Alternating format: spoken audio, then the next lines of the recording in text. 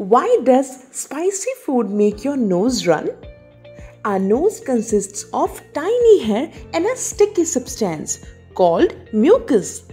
Mucus is a slimy substance secreted by a mucous membrane present in our nose. During breathing, the hair and mucus trap bacteria and irritants, thus prohibiting them from entering deep inside the body.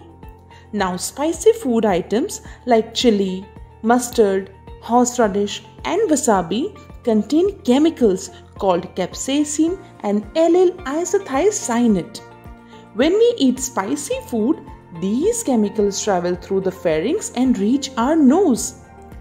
Here, the chemical activate the heat sensing receptors, thus causing inflammation in our nose and irritation of the mucus. As a defense mechanism, more mucus is produced in our nose to get rid of these chemicals, thus making our nose run.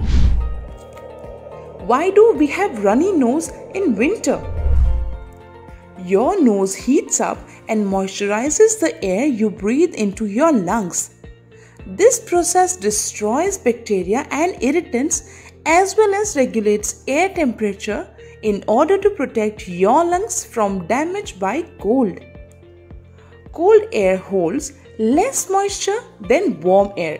So when you breathe it in, it can quickly dry out your airways and expose you to more irritants. This stimulates your nasal tissues to create more mucus and fluid to keep your nose moist and protect your airways. Excess mucus and fluid then drain out of your nose. Trivia time. Do you know why your nose run when crying?